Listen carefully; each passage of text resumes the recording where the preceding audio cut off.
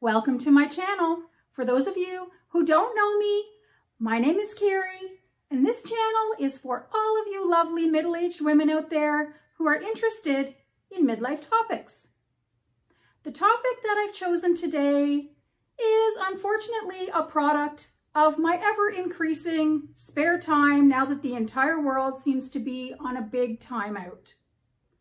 Now, I have had a lot of time to think since being stuck in the house, and my mind has a tendency to wander into Weirdville. It's been doing that a lot lately. And I just kept thinking to myself, Kari, are you happy? And I'm not talking about, yeah, I'm okay, my life's going all right.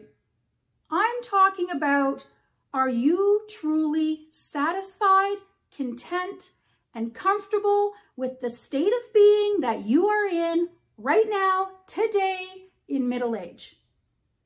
Are you truly at peace with the life that you've chosen for yourself right now? I'm not even sure I can answer that for myself. And so I pose the same question to you. Are you happy? Not are you okay with the life that you're living right now? Are you truly content, satisfied, and at peace with the state of being that you are in right now, today? Are you happy and truly content with the life that you've chosen for yourself right now? Now, I pose the question of happiness in midlife specifically because I found when I entered my 40s, I seemed to have stepped into a completely unknown and interesting stage in life. My children were growing. My body was suffering the wrath of manic hormones and still is. The things that I valued in my 20s and 30s were just simply not valuable anymore. They, they were unimportant and, quite frankly, uninteresting.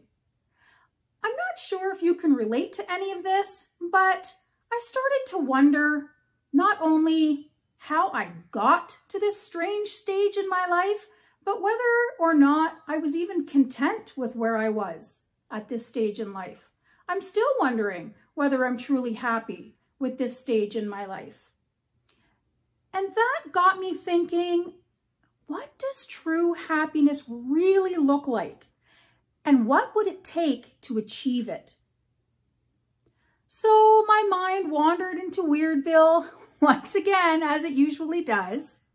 And I've put together a list of five things that I think would be truly beneficial in helping you on your quest to finding true happiness in middle age. Now, if you have things that you would love to add to that list that you think would be beneficial, please leave them in the comments. I would love to hear from you and they may be beneficial to somebody else. You never know. This first one is one that I struggled with myself and I had to work very hard to try and change it for my own good. And that is stop comparing who you are right now with who you were then. Abandon the idea of staying young. It can't be achieved. You can work on feeling young, but no amount of anti-wrinkle cream in the universe is going to reverse aging. So stop putting all of your energy into trying to be who you were and start putting your energy into who you are now.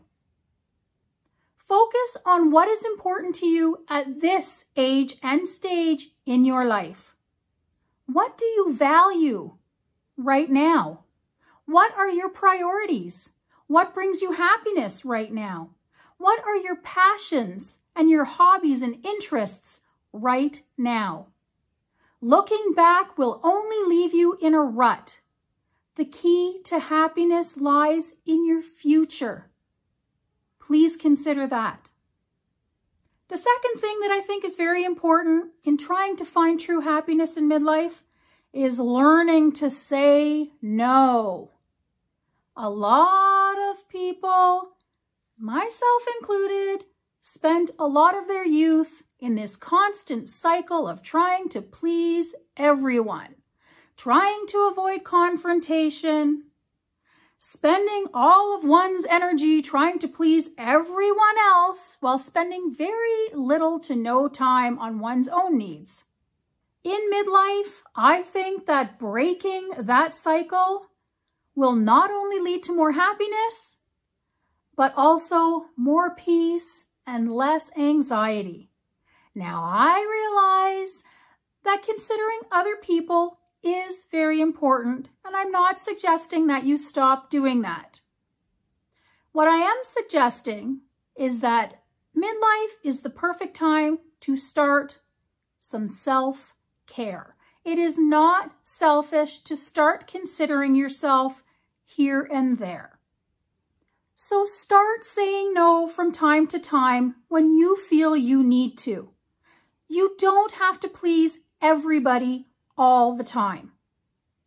So if you just want to relax in the tub and get some much needed rest and you don't want to go out, then say no.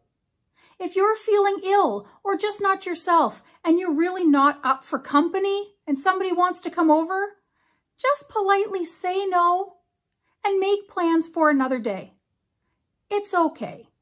It's important, I believe, to consider yourself from time to time because you matter.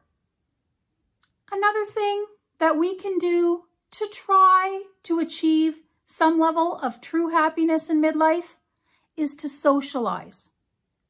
Make connections to like-minded adults who share your same values and beliefs and who are in the same stage of life that you're in. And nurture those relationships, as well as the closeness that you have with your immediate family. We are social beings by nature, and we tend to thrive when we're valued and appreciated by others. Now, that doesn't mean you have to be surrounded by people. I myself am a bit of a loner. I do not like to be the center of anything. But even introverts need to feel a connection to others. Now that could just mean having someone come over for tea, having someone to just care about how you're feeling and what's happening to you. Maybe someone to just hang out with, watch a movie with, talk on the phone with, someone to maybe laugh with, or even someone to cry with. I believe that positive relationships will promote a healthier, happier, more enjoyable, and stress-free life. This next one is more of a realization in midlife because believe me, I didn't even consider this in my youth. And that is respect yourself. When I was in my 20s, I didn't pay any mind to what I put my body or my mind through. But now that I'm older, I really do care about creating the healthiest body and mind that I possibly can.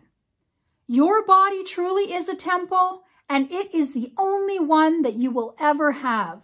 So it is vital that you take care of it to the best of your ability, both outside and in. I believe feeling good and feeling happy and content are all related.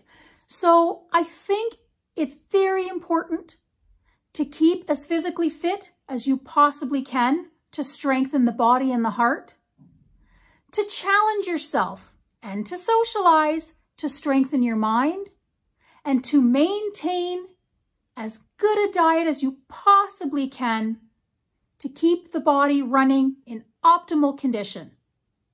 The stronger and healthier you feel, the happier you will be. This next one seems to be a really hard one for women, but I think it's equally as important if you're truly looking to be as happy as you possibly can be. And that is embrace your limitations. Now, I don't mean that you can't do something because you're middle-aged. Not at all, don't get me wrong. What I mean is, you don't have to be superwoman anymore. You don't have to have your fingers in every single pot. You don't have to be everything to everyone anymore. If you can be realistic about what you can handle comfortably and without stress, it will free you. So find a comfortable balance and live there. That may bring you some of the happiness you're looking for.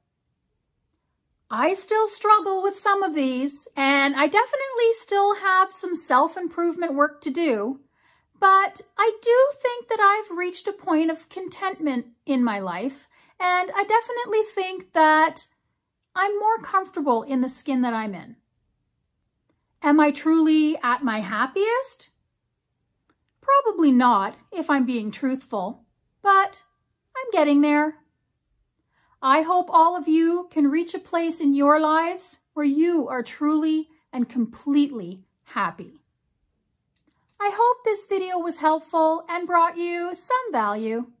If it did and you'd like to know when I release new videos, remember to subscribe and click that bell so you'll receive a notification every time I release new content.